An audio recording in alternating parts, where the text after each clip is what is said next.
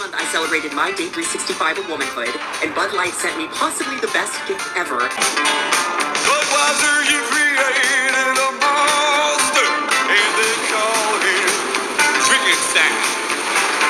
In the tavern down the street is a lab I where he makes the transformation all the time. Women like him, cause he's strange.